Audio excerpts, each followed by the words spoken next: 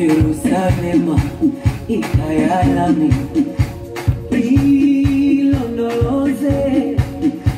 uhambe nami zuma ngishilana Jerusalema ikhaya